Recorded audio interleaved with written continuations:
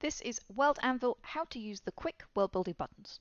So on World Anvil, you will notice this big green plus button at the bottom right, and this gives you access to the quick world building buttons. There's five of them. We're going to go through what they do. Here, the green hammer allows you to quickly create any article or any other kind of asset. When you click on one of these, it's going to open into a new full edit tab. You can see I clicked uh, control click to open in a new tab. And that's what that does. Next up, we have the purple button of creation. This allows you to quickly fill in the form and create a whole new article or category, event, notebook page, secret, or to-do list item just by filling in this form and remaining on the same page. So if I'm writing an article and I want to create a new article, for example, Maria's dog, then I can go through and fill this in and then paste the uh, code straight into here without ever leaving the page. The blue button is our image button.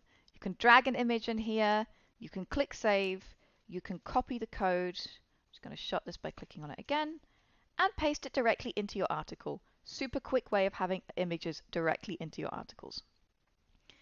This bow and arrow opens the Artemis interface. You can also open this with Control Enter or Command Enter on a Mac. So there are a ton of commands that you can use and type in or their abbreviation. For example, I can type edit London to edit the London article, or even e London to edit the London article. Uh, there's a full guide on this. I will make sure that is linked to this video so you can go and check out everything that this very powerful navigator tool can do. But there's also, just to draw your attention, a little scrapbook where you can keep notes, CSS, to-do lists, whatever you would like. And finally, the previewer probably my favorite. You can search your whole world and reference it whilst remaining in your article edit page, your manuscripts edit page, whatever you're doing.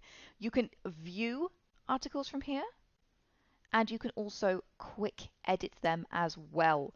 This makes it really, really quick and easy to reference your world and see what is in there. And that is the guide to the quick world building buttons on World Anvil. That's it. So grab your hammer and go click quick world build.